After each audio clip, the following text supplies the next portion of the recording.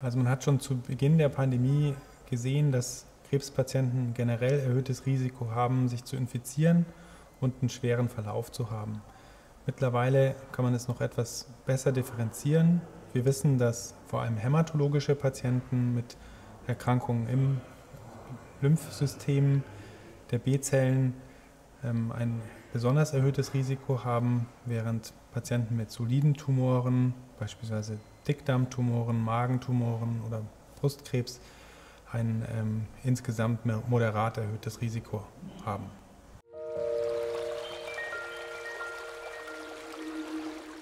Also generell gelten die ganz normalen AHA-Regeln, Abstand halten, die Hygiene beachten und eine Maske tragen. Ähm, Alltagsmaske ist gut, eine FFP2-Maske, wie es ja in vielen Bundesländern auch ja, empfohlen wird, ist sicher nochmal ein besserer Schutz. Und zusätzlich muss man sagen, ist natürlich der Allgemeinzustand des Patienten, also regelmäßige Bewegungen, auf eine gute Ernährung achten, sind auch ähm, Faktoren, von denen wir wissen, dass sie äh, gut sind, zu schützen vor einer Erkrankung oder auch im Verlauf, wenn es zu einer Erkrankung kommt, von einem schweren Verlauf zu schützen.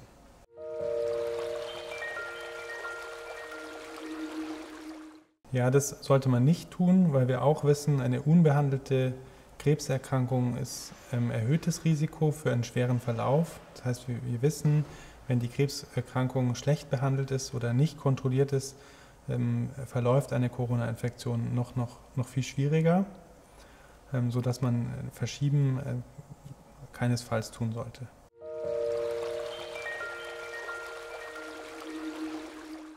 Auf jeden Fall sinnvoll. Wir haben mittlerweile auch gute Hinweise, dass sie wirkt. Sie wirkt etwas schwächer.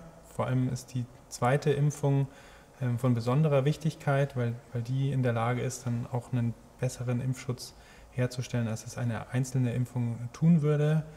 Und ähm, das wissen wir auch schon von der Influenza-Impfung, dass auch Krebspatienten, bei denen ein eingeschränktes Immunsystem ähm, ja, vorhanden ist, trotzdem von der Impfung profitieren. Und wir wissen auch, dass die Impfung selber gut verträglich ist und keine schweren Nebenwirkungen ähm, hervorrufen kann.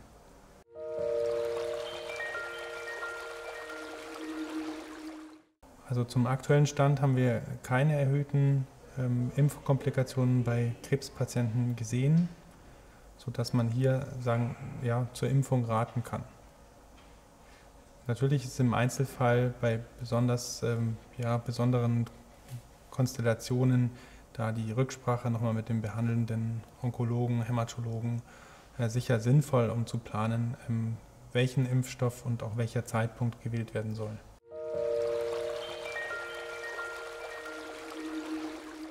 Das kann man so erstmal nicht sagen. Da kommt es sehr auf den Einzelfall, auf das Alter, auf das Geschlecht und auf die Grunderkrankung des Patienten an.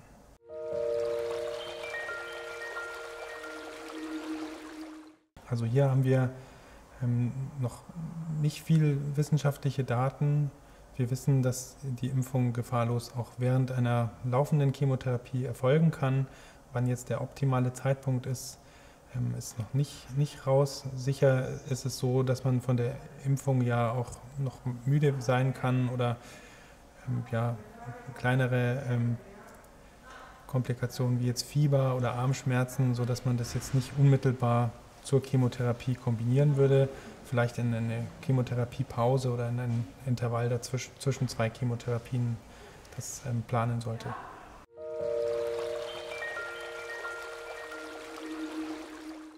Auf jeden Fall, das ist ein sehr, sehr wirksamer Schutz, wie wir auch schon von der Influenza wissen. Es ist sehr hilfreich, dass sich das ähm, häusliche Umfeld impft, die Angehörigen, die Bezugspersonen oder auch ähm, Pflegende eines Krebspatienten, um hier einfach zu verhindern, dass eine Infektion in den Haushalt und zum Patienten gelangen kann.